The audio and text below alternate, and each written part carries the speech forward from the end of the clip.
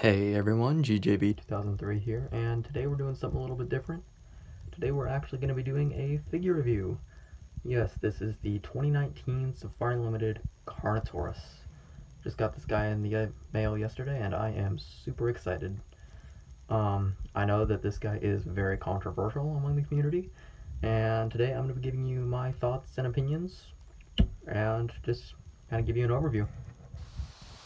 So, starting out with his his details, we can see that he is very, very well sculpted. Lots of tiny little minute scales all around the body.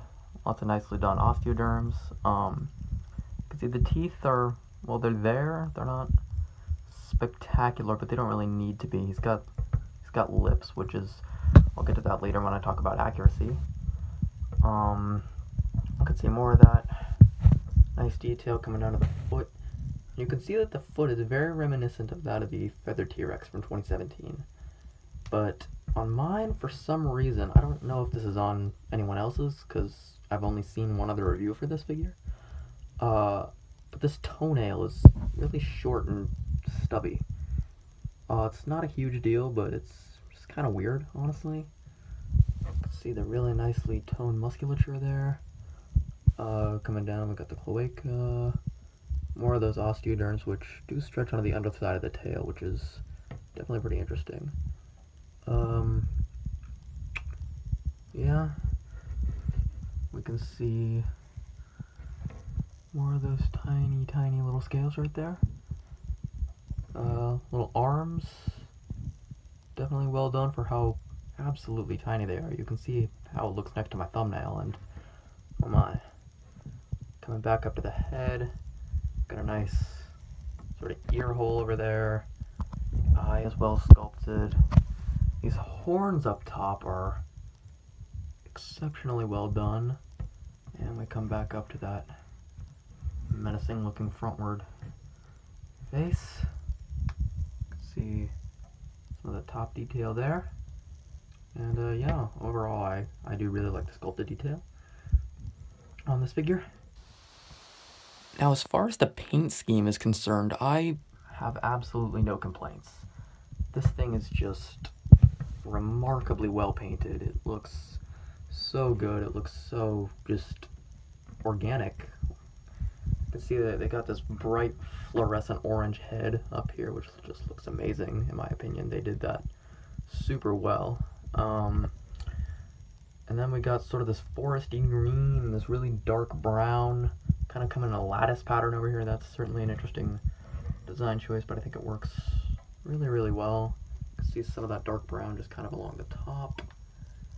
And we got a pretty much just like a white underbelly. It's pretty standard stuff as far as that goes, but just overall, the paint job on this is absolutely stunning. Um, even on the inside of the mouth there, if you can see it, it, it looks pretty good. Looks pretty good indeed no real major bleeding complaints with it.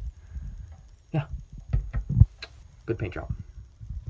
Now, when we start to look at accuracy, we can really kind of see some of the complaints that people are having. The head sculpt, it's... The head sculpt looks fine to me, honestly. Um, it may be a little bit too bulky around the neck and kind of up here, but we don't really know how much flesh it would really have, the common presumption is that it was thin. Uh, it's not shrink wrapped, which I gotta give him props for. Safari always does really well on that, at least like 2017 and up. Uh, the fact that it has lips, it goes with a nice recent theory. I think it's a good, it's a good call on their part. It, it looks pretty good, and it definitely does. It does for this kind of a little bit what like the massive feathering on the 2017 Rex did, or the well, what the pretty much everything did for the uh, 2015 Spinosaurus from Collecta, but to a much more minor degree. um, the arms, I think the arms look fine. The hands do look a touch too large, but I mean, I think I think they look pretty fine. It would probably be just a little bit too hard to sculpt it. Very much smaller than this, I would imagine. Um, if you look at other Abelisaur figures, the these hands are about the same size. Even if you look at something like the Papo Carnotaurus, you can really see that these arms are about the same size as its, but that figure is obviously in a smaller scale. Now, biggest accuracy issue comes with the legs and the feet. They're way too big. They should be, mm, they should be pretty noticeably smaller, I'd say. Especially in the feet here down, it looks, I mean, it's not as bad as like some Papo figures, but it's, it's noticeable, especially more so from a distance.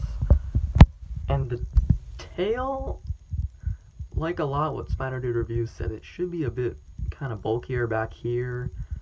Um, it looks like kind of a start cutoff point, like it doesn't flow very well there. This should just kind of gradually kind of come up if if I were to imagine, because again, we don't have any flesh of this creature, but uh, as far as the length of the tail is concerned, it doesn't look to be too long or short really. and when I do this sort of bird's eye view of the thing, it really becomes apparent how bulky it is. Like, th this thing is... he's thick. He's been, he's been eating a little too much. But, um, yeah, accuracy, it's, it's not amazing as far as Safari is concerned, but it's not too awful as far as, um, you know, as far as most figures are concerned. If you look at a company like Papo or uh, Rebor, um, this thing pretty much is on par with or better than just about anything they make. So, not the most accurate figure, but not not an atrocity, as I've heard it called for sure. Now, another common complaint I've heard with this thing is the size. The size does not bother me in the slightest. I think it's... I mean, I like that it's a little bit big, personally. I mean, I know that that doesn't quite fit in 140 scale, but it's not as big as a lot of people are really... It's getting fussed over. It's it's not extreme. If we bring in the Papo Carnotaurus, we can see that it is bigger, but it's not like gargantuanly bigger. It's it's a pretty good bit bulkier, and you can see the length difference is pretty apparent there. But these figures, like, they, they look good next to each other. It looks feasible. Um, you can kind of see earlier, if I can get this guy around, what I was talking about with the arms. They're about the same size-ish. Safaris are a little bit bulkier. This That's a common theme with this figure. It's really bulky. But, I mean, it's you can see here it's not gigantic, and I have a couple more figures to show it next to also. Next up, I have a couple of larger figures, and this should really paint an image of that this guy's not, again, gigantic. Here is the Collecta Acrocanthosaurus from 2015, and here is the Papo Running T-Rex. I know that a lot of you guys likely have this one in your collection, which is why I chose it, and it's kind of just the standard for like a big theropod. So you can see now from this angle that he's the smallest of the three. He's still big, but he's a little bit smaller than the Collecta Acrocanthosaurus over here, and he's a lot smaller than the running T-Rex.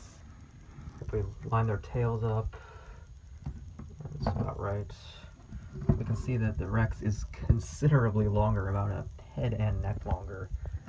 As far as the height difference is concerned, um, yeah, so he's he's big again, but definitely not as big as he could have been. And I think a lot of people would have complained if he were say the size of the Rebor one. Um, so I you can see there. Um, he, he's a decent sized figure. He'll definitely pop out, partially because of his color scheme, but due in large part to his uh, he, the fact that he's bigger. So, uh, final comparison coming up here. And here he is next to the 2010 Carnegie version of the Carnotaurus. And they're right around the same size. If, if you look you look at them from a bird's eye view again, you can see that the Carnegie one is actually dimensionally a bit larger. This guy's definitely a lot bulkier. Again, that's kind of a thing with him. He's very, very thick. Um, you can see there that they're roughly the same length. Carnegie one's stance definitely makes it seem a lot taller. I mean, it is taller, but I mean, if we were to put him in a more standard stance, he'd probably look something like that. And again, you can see that they're right around the same size, so this guy will look really good next to your Carnegie Carnotaurus on on the shelves. He's he he's a really nice figure. As as you can see here, he's right about the same size as this older one. So, yeah. So, for my final thoughts on this figure, I I love it personally.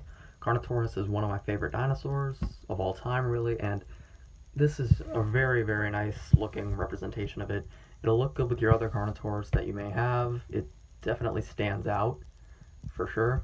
And I think overall it's just a really nice looking figure, so uh, you can go pick this thing up on, I believe Everything Dinosaur is carrying it, and I know SafariLimited.com is. They're both going, or it's going for around $14 on each of those.